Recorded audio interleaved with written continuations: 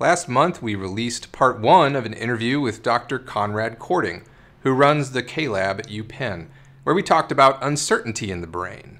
Coming up is a continuation of that conversation. This is Numenta Community Manager Matt Taylor.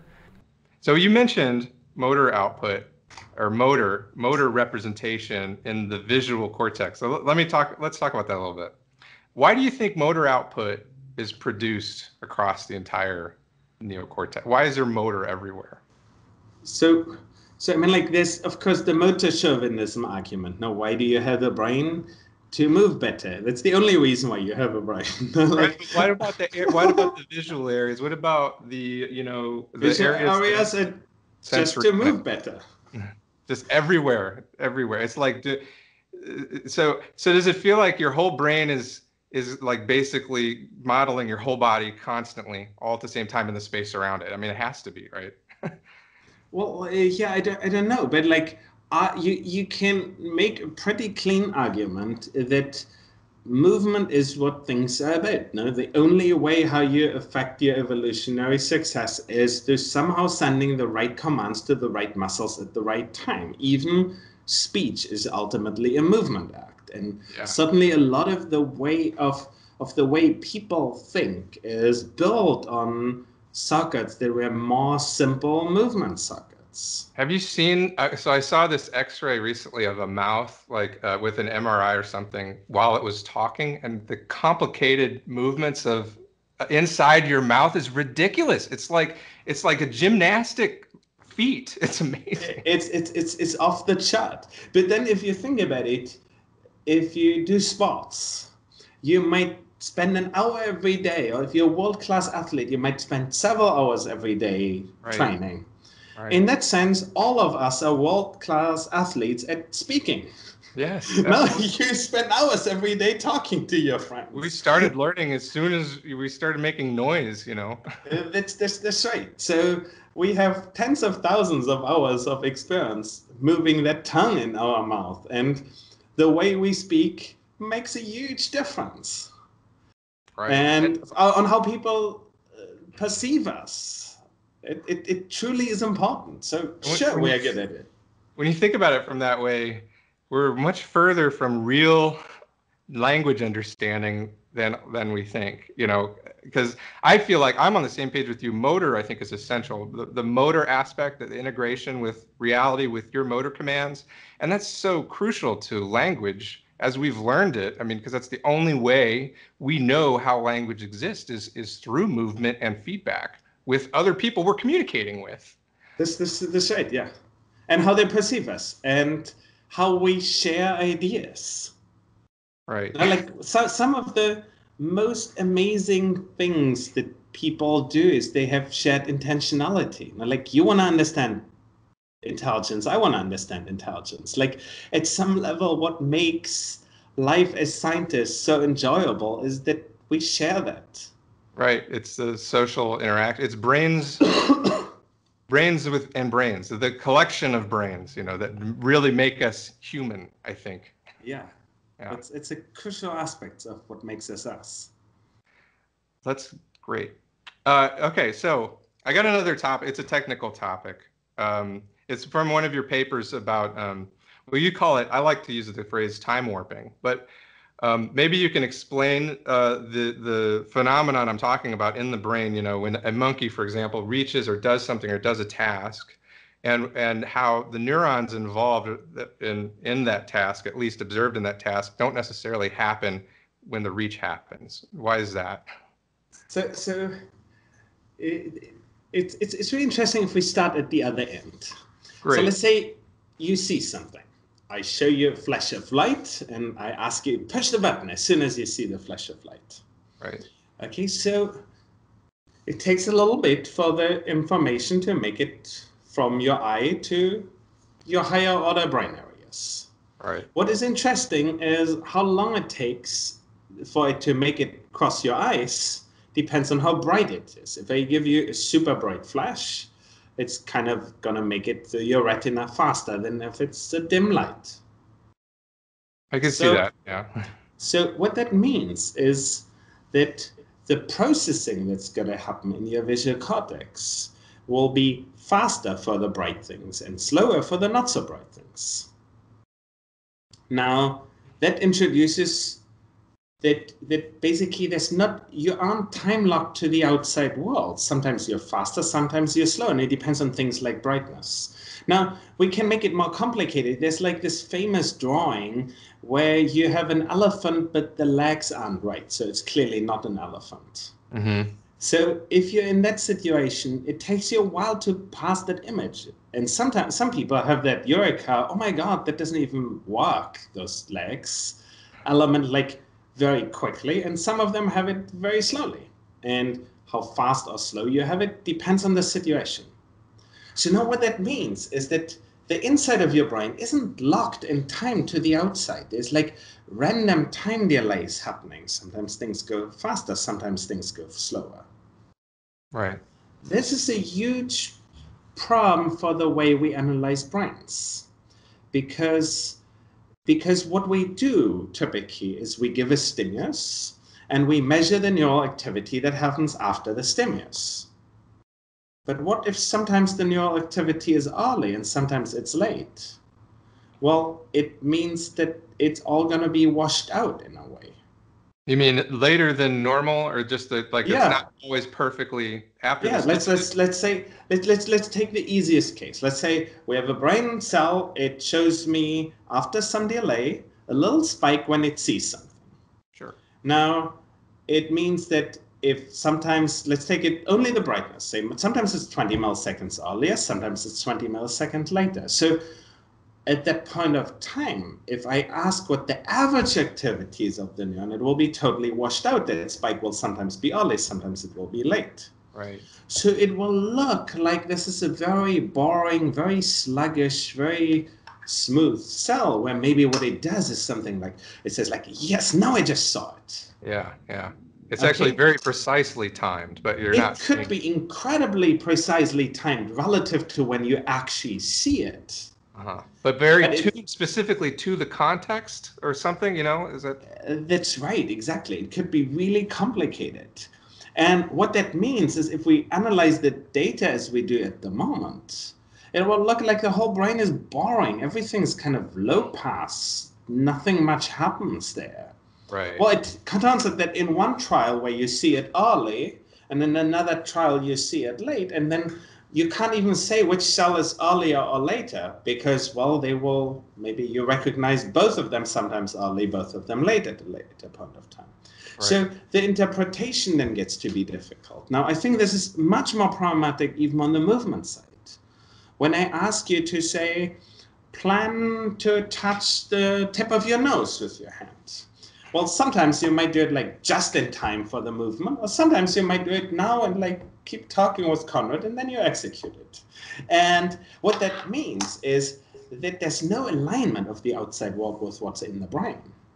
But everything we do in neural data analysis, or most things that we do, is based on the assumption that it's locked to the outside world. Right. Right. Okay, so now time warping is like a technical set of algorithms to kind of undo those kinds of problems. It's a But- it's a data processing function, right, to help identify that. Exactly. It's like the way we use it is if you give me lots of neurons and I want to ask the question, well, uh, how fast are they like jointly stepping through that process that they normally do? Right. and it allow it basically allows that on some at sometimes it might be earlier sometimes it might be later but but this is a universal thing you know? like your brain is not time locked to the outside world and once you realize that anything you analyze in neural responses is getting much more complicated Right. Yeah, that, that makes sense. I mean, there's certain experiences you have that seem very slow and others that seem very fast. And there's some evidence that has to do with, you know, the balances of chemicals in your brain and stuff like that. I mean, and, lot and of the- context for computation in your brain. Right. And the temperature. If I heat up your brain a little bit, the wave, No the volley of spikes might go uh, go through it a little faster. Oh, Yeah. like a little bit, like you can just uh, get warmly dressed, uh, uh, run really hard in the sunshine. All right. Well, next time I take an exam, I'll dress very warm. nice. Uh, okay, uh, Dr. Kording, uh, a couple more questions from our forum. Uh, we have a couple, almost a couple thousand people on our HTM forum, and um, I sort of let them know sometimes who I'm gonna who I'm gonna talk to, and uh, some a couple questions I'll give you from the forum. Um, somebody read your research page and said that they quoted the page saying that you sort of have these two angles, and and one is, and, and this is for uh, addressing information processing in the nervous system.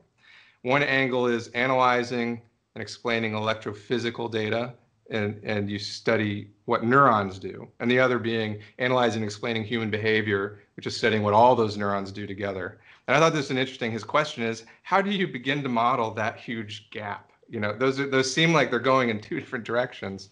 Um, so he'd like to hear you talk about that. Yeah, so this is a huge problem. That there is this huge gap between basically behavior, which is complicated, includes billions of neurons, and what an individual neuron does. And I'm not sure how to cross that gulf. In fact, like I've written a couple of papers where I kind of like voiced the worries that I have about that. So when we make that bridge in neuroscience, we are often very imprecise. Say we, we take some brain area, we find that there's some neurons that do something, and then we say, oh yeah, therefore that part of the brain solves the face recognition problem. Right, right. And that logic doesn't work out like that. It's basically finding that there's a difference. If I show a different face, doesn't mean that these cells don't do other things. And the correlation with faces doesn't mean which role it has in communication. No, like for all that I know, if I give you a task where you press your right finger, when you see a face, that uh, that like muscle has a really strong correlation with there being a face. And Right. yet arguing that your muscle processes faces is perfectly pointless. Right. Um, and so, yes, there is that huge gulf between those two views, and it's a little unclear how to how to bridge it.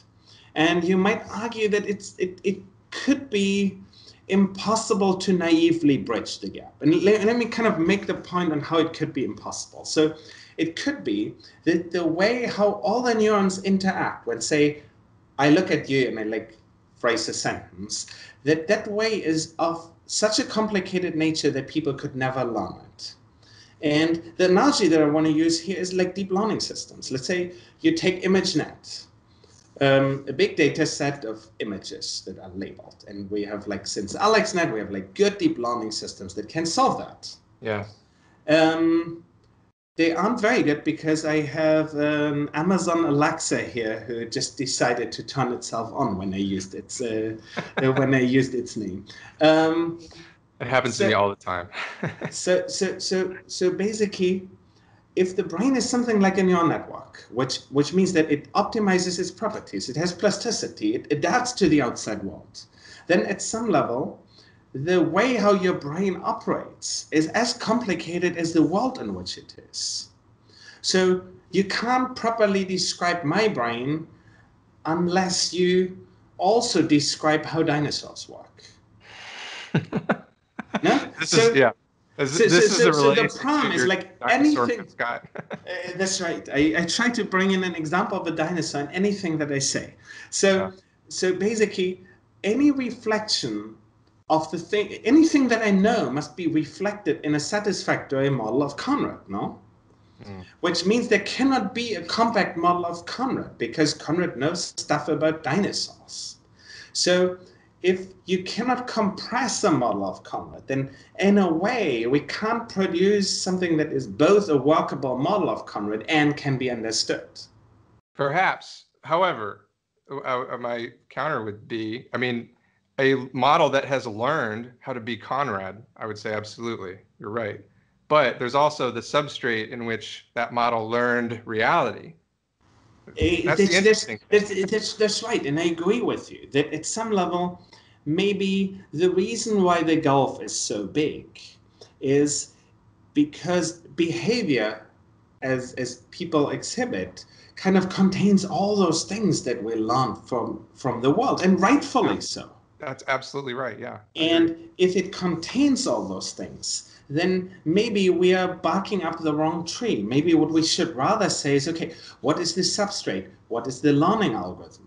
What are the cost functions that the brain may be optimizing? Is it using an optimization algorithm? Those questions then become very central. Whereas the question of kind of like, how does it work at the, at the, at the low level? Like, okay, how do neurons contribute to behavior might be the wrong question. You know, like the fact that like somewhere in Konrad's early visual cortex, neurons have Gabor wavelet, that mm-hmm. might not be meaningfully part of a description of how Konrad works. Right. It's so hard to decide what to study and what is contributing to the overall model. yeah. So, so in that sense, my answer to that gulf is the gulf might be of the nature that we need to rethink what we want to study on both sides. Maybe the way we study behavior isn't quite right. Maybe the way we study neurons isn't quite right. But how those two can come together, that is something that people tend to expect that someone else will solve it. right. Well, I'm I'm hopeful in in neuroscience right now because as I don't know uh, how much you know about what we're doing at Numenta, but we're really excited about grid cells. Uh, we've incorporated into our neocortical theory, you know, that knowing that I've talked about grid cells a lot in other interviews, so I don't think I need to like give a basic description of what grid cells are, and I, am sure you know what they are. Uh, okay, okay, but, but look, here's here's the problem.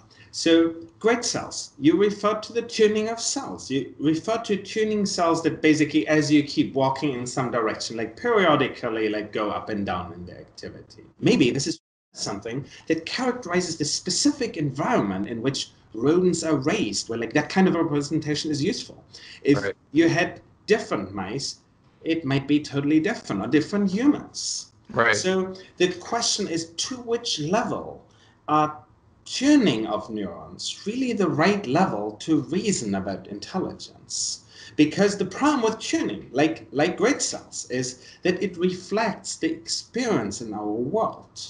Absolutely. and therefore that it might be hugely dependent on the world in which you grow up.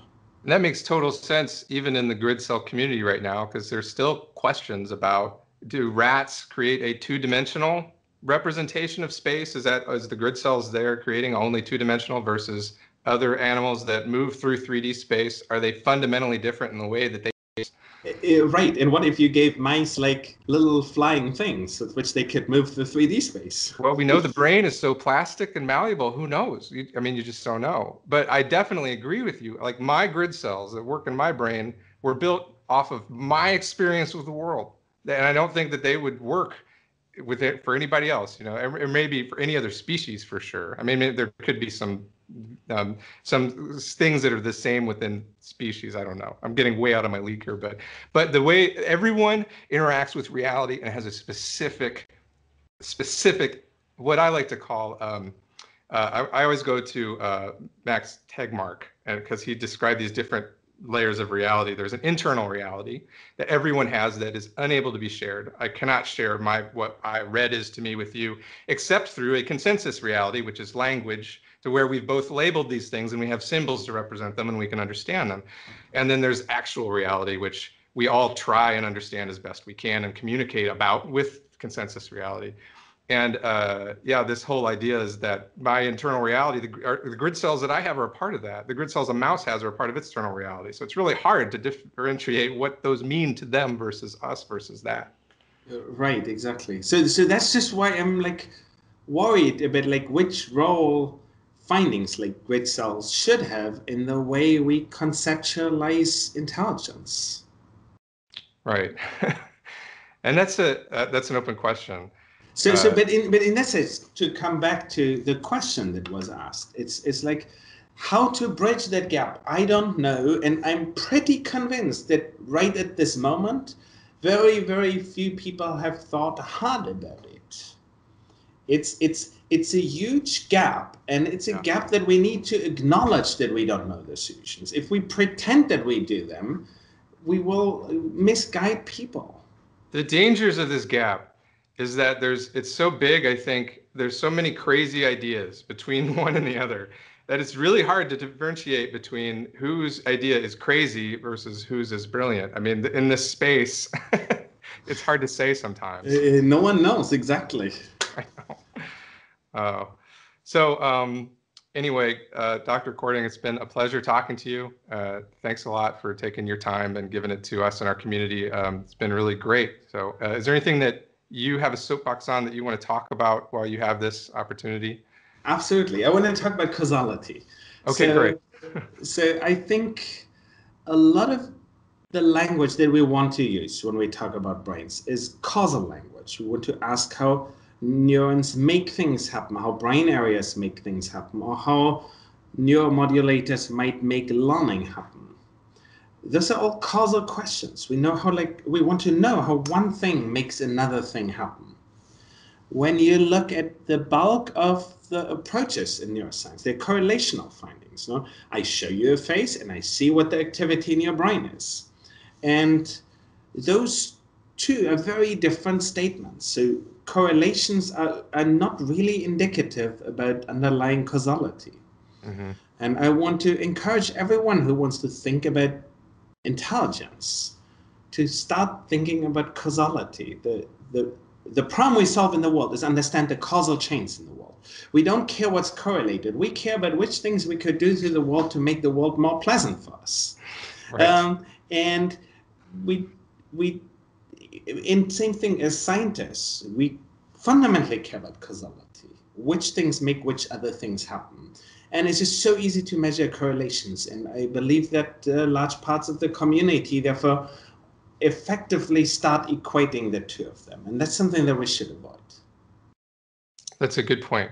Uh, what do you think uh, uh companies like us that are trying to work in this space can do, can benefit from that type of uh, perspective? So I think uh, for a company like Numenta, if you want to, I mean, like ultimately, what you build into your models is a causal chain. No, you, you say this is what this neuron does to that other neuron. So in that sense, when interpreting the existing literature, you could benefit from thinking about it in terms of causality. What does what do the experiments actually say, and what do they not say about causality? Right. But also then when it comes to say if you're implicitly building in objectives that the system has, the thing the question is what are the meaningful objectives? What's their causal role? How do they cause behavior in the end? And so in that sense, I think it can, the concept can be usefully implemented in, in, in any model of neural activity. Right. Yeah, it's just so difficult to put lots of the models together, you know, in a way that makes sense for everybody involved. this, this, this, this, right. But the concept of causality, that is something, if you ask yourself how you think about intelligent, uh, intelligence, the concept of causality is what makes it intelligence. But I mean, at, at any point in time, I've got neurons that are predicting what's what's going to be happening in my environment right now. You know, that's sort of the brain as a prediction engine sort of idea, right? That's right. Uh, and uh, the causality of those predictions being made involve vast amounts of past experience, not just the past second or the past minute, but years, years. this, this, this, this right. And you could, but you could, for example, view the prediction. If you if you view the prediction engine like that, you can say that the wanting to predict things is the thing that causes the tuning curves in end. Oh yeah, I can I can see that. Uh, wanting to predict things. Yeah, the uh, the goal of trying to predict things is what gives rise to how they compute. Well, I see. I'm of the impression that the the prediction is not a goal; it's just something that happens as a part of the mechanism of the neural network. At least in in HTM, you know, we have a sequence memory um, theory algorithm, and, and the but, predictions just occur if you connect them to the input the right way. That's that's that's right. But the the way how you set up the connecting them to the input in the right way is such that they change themselves so that they get better at predicting. Yeah, absolutely. Yeah, and So- it's so in and that sense, you have, like, a little- It's like the world is topological, so you've got to have these all these localized computations that. I mean, it's super complicated. but I, I mean, I think I agree with you. I mean, causality is super important, and we can't make any assumptions about why we're seeing what we're seeing if we're monitoring neural populations necessarily, unless we know the. If, and we can never look at the internal reality of the system to verify it anyway. So we have to be very careful about the assumptions that we're making, right? That, that, that's, that's right. And I, I want to add one more thing. The backpropagation of error algorithm is also just a causal inference algorithm. It Ah. tries to figure out which changes in neural properties would make performance be better. Yeah. So, yeah. so even local prediction versus global optimization leads to a very similar logical structure where you have an objective in learning that gives rise to computation. Right. Right. Well, that sounds right to me. All right. Well, Dr. Kording, thanks again for, for joining us. Be And, great. uh, Thanks for a- having me on. No problem.